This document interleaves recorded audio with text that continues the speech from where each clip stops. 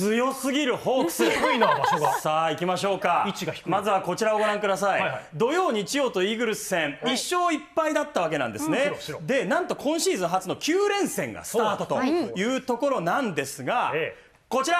え今日のお昼1時から行われた試合イーグルス戦14対4爆勝でございます、やり返しましたね一戦目のね。打って打って打ちまくりましたね、さあということで今日のさ取れたてほやほやの最新映像もたっぷり。熱苦しくいきますどすこい。びっくりするような奇跡の瞬間目白押し。僕のヒーロー大活躍。ホークス暴れ話プルスウルトラ。さあまずは昨日の勝利の立役者。頼れる投球。我らがジュニア・スチュワート。今や押しも押されぬ先発ローテーションの一人。この威力抜群のストレート。さらに縦に大きく割れる変化球と最強のコンビネーションで相手バッターを封じ込めていきます来日6年目にして完全に覚醒したスーパージュニアは7回を投げ打たれたヒットはわずかに2本の無失点。なんと6月から負けなしの6連勝。今シーズン7勝目。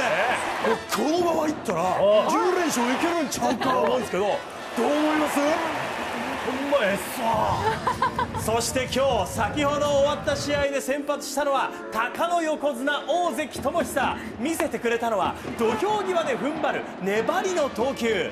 連戦が続く中投手陣を助けるためにリリーフ陣を助けるためになんと130球も投げ切ってくれたんですね。すごいね。大量リードにも恵まれ気持ちで寄り切った大関は7回途中4失点で自己最多に並ぶ7勝目。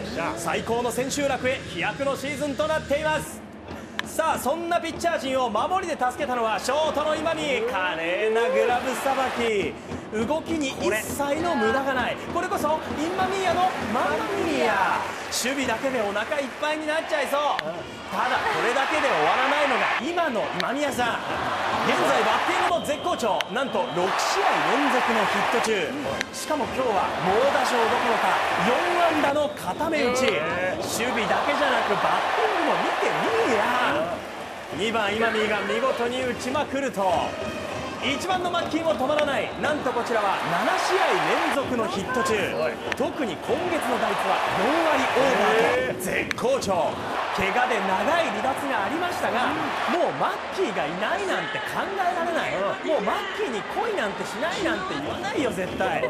そしてそんな中もう手がつけられないんですよね。4番山川穂高。まずは土曜日この一振り。捉えた当たりはセンタークリーンに飛び込む2試合連続のスリーランドスカイすると昨日の試合またもや打ったこの確信の一振り変化球にうまく合わせた打球は弾丸ライナーでスタンドまで持っていくなんと3試合連続アーチ両リーグトップタイの第22号ホームランでダスカイただクリは後ろで政権好き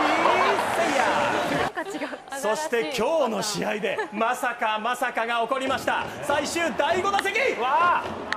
大歓声に後押しされた打球はなんとなんと4試合連続のホームラン。この3連戦で8安打9打点の大暴れ。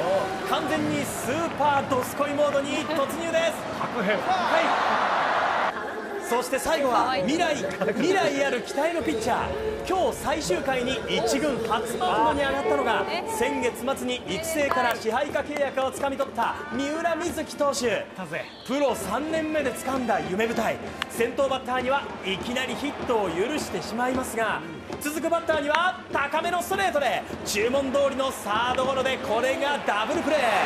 先輩たちの助けで1軍で初めてのアウトを奪い取ります気持ち全開の投球が持ち味の三浦瑞希投手は1軍で初登板。バッターに向かっていき1回4無失点。今日が新たな夢への出発点。筑後からまた楽しみな若隆が羽ばたいていきました。いや三浦投手よかった